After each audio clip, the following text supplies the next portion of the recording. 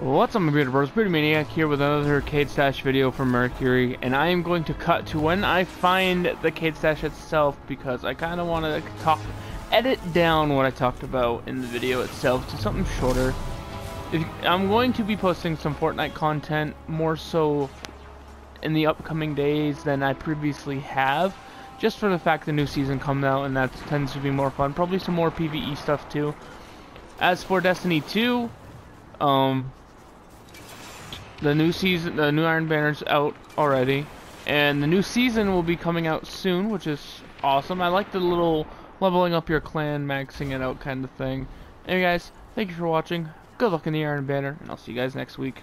Peace. As you can see, there's only one Cayde stash because we are on. Oh, here it is. Hello. anyway, guys, um, quick D2 discussion. The reveal